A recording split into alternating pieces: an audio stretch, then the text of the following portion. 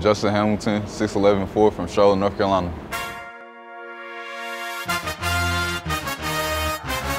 All right, I feel like we should put a disclaimer out there. I am very short, but you are also very tall.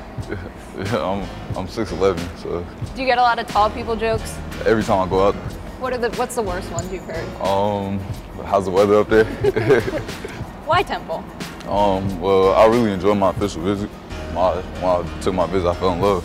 So, loved it ever since. What's your first taste of college basketball been like? Is it a little a little different? It, it is a little different from high school. Um, it's just a faster paced game, um, but I like it. What's the quickest lesson you've kind of had to learn? Um, I gotta get bigger. That comes with time. Have you been learning what it's like to be in the college weight room? yes, um, it's no joke. Yeah, Rich probably put you through an, a vigorous workout, I'm assuming. yes.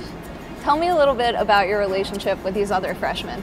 Um, well, I'm new, um, JP, uh, since I was 15. Um, I met Dre at the Victor Oladipo camp. Okay. And um, I've heard Nate, I've heard, I've heard his name before. Um, so I knew all the guys really. How do you think the team's vibing so far? Um, we're all cool with each other. Um, we're all friends. It's just a big group. All right, Justyn, well, I'm looking forward to it.